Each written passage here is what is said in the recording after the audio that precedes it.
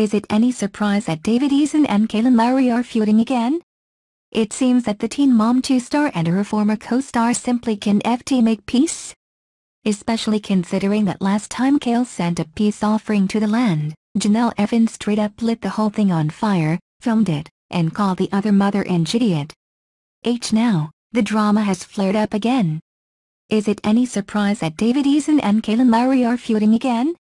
It seems that the Teen Mom 2 star and her former co-star simply can FT make peace.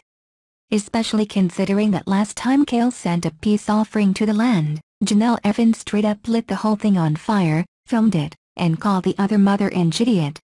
H now, the drama has flared up again.